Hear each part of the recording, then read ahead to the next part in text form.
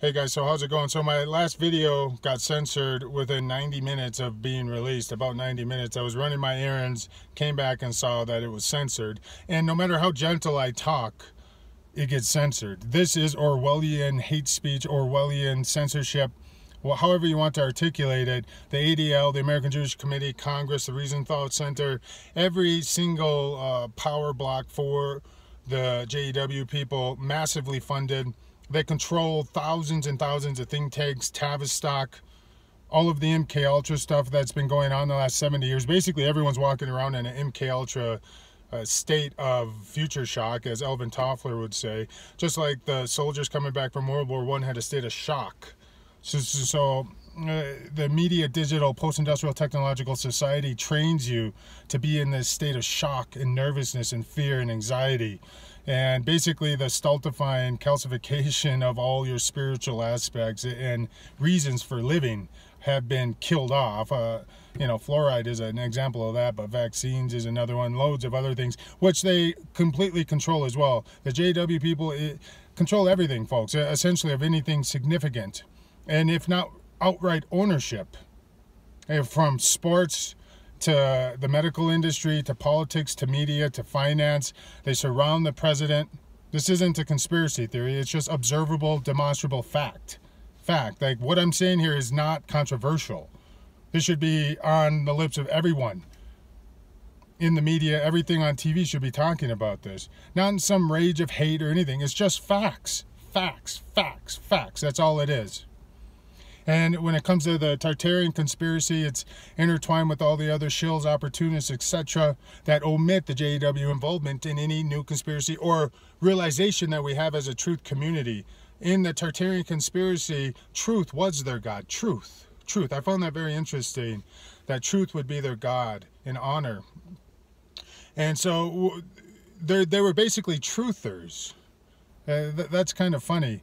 Um, and uh, there's been one video, Gnostic Media, that actually named the JEW people as the cause, as being one of the tribes of Tartaria that was basically exiled to wander because they betrayed the rest of the tribes. And that was the essentially the JEW people, uh, the Khazars and, and what have you.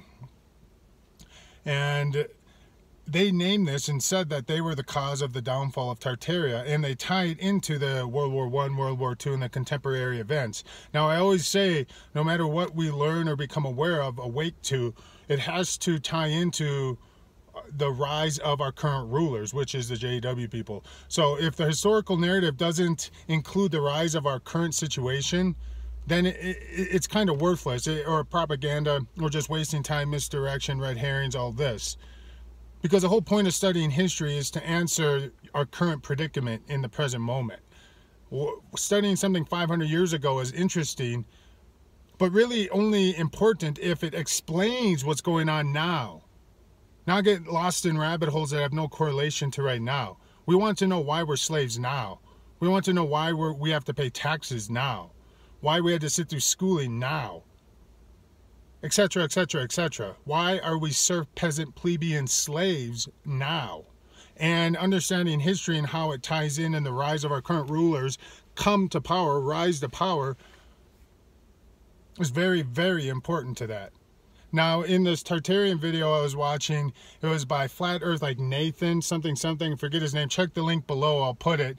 He was editing out every time they talked to, about the JEW people for the most part at the end of the video, I think it's 44 minutes, uh, Gnostic Media, I don't know his name, but he's a good researcher. He puts in his time, I can tell, because I used to do it too.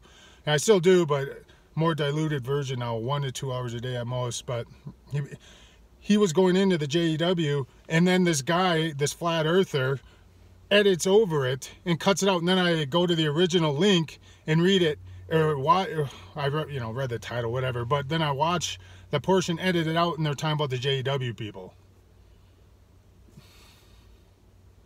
And so this is what you get with uh, the CIA, etc., JEW controlled YouTube.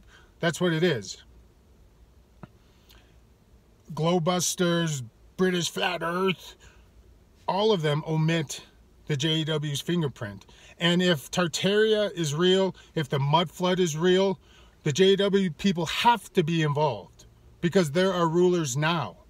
So if that stuff is actually real, you have to explain how the JW people in the whole chaos and upheaval of this time frame and era, how they played a part and positioned themselves to take over. How did it happen?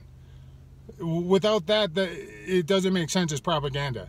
Because right now, we can observe things going on right now. The past can be somewhat manipulated, right? So your historical narrative needs to explain what's going on right now. I hope that's clear and obvious. Should be just obvious stuff.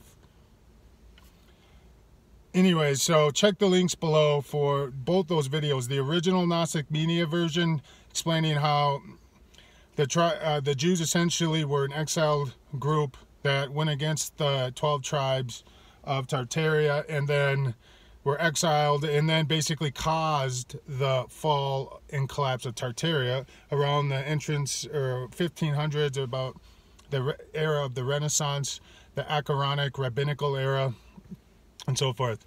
It's very interesting. Check out my other video. I go into more stuff. It's a little longer than this. This is just a recap video. I don't really like doing recap videos because it's not spontaneous. I'm trying to like recapture what happened and stuff. I might just make five more videos about this. So it, it, if you, you start thinking I'm making the same video over and over and over and over about Tartaria, it's just uh, get one that doesn't get censored and get some views so the people into this can understand really what's going on. The JEW people are the North Star, meaning that if a new conspiracy or something comes up and you don't hear their names a little bit, or it's not integrated into the fabric of the narrative, you know it's propaganda, or the guy's an opportunist, shill doesn't want to get censored, has other agendas besides the truth. My agenda is the truth. I may be wrong on some things, but I am ultimately 100% genuine in trying to speak the truth. Okay, guys, I hope that was lucid, succinct, and cleared up hopefully something. I'll talk to you soon. Bye bye.